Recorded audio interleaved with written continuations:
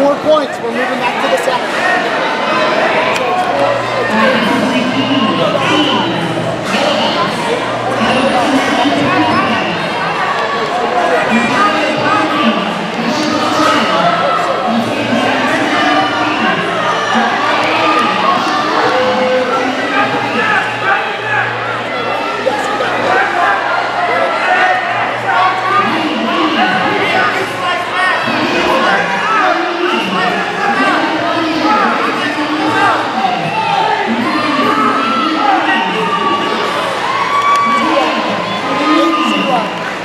Okay,